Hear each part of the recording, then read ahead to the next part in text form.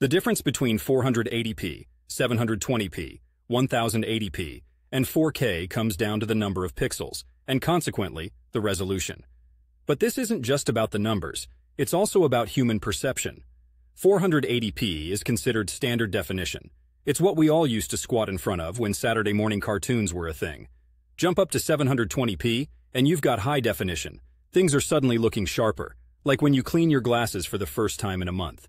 Then there's 1080p, full high definition. Now we're cooking with peanut oil. The clarity of the image here is noticeably smoother than 720p, especially on larger screens.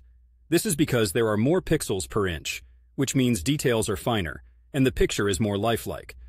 But when we move from 1080p to 4K, things get a bit murkier. 4K is ultra-high definition, with an awesome amount of pixels. But here's the kicker. The improvement isn't as jaw-dropping to our human eyes, especially as the screen size remains constant. Why is this? Well, there's this thing called the law of diminishing returns. It basically means that once you hit a certain point, the amount of gain you get for your effort, or in this case technology, starts to dwindle. When television went from kind of fuzzy to, wow, I can see the blades of grass as resolution improved, it was groundbreaking. But our eyeballs have a limit to what they can perceive at a distance most of us sit from the TV. 4K resolution is incredibly dense, and to truly appreciate the difference over 1080p, you need a larger screen, or you'd have to sit closer, neither of which is necessarily practical. The pixel density at 4K means we are reaching the limits of what our average eyesight can distinguish from a typical living room setup in Portland. Another piece of the puzzle is content availability and the source quality.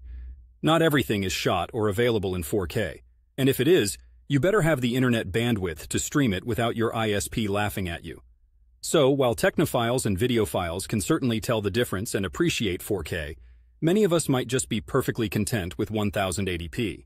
After all, it's still high-definition clarity that would make the 480p crowd's head spin, and there's something to be said for that.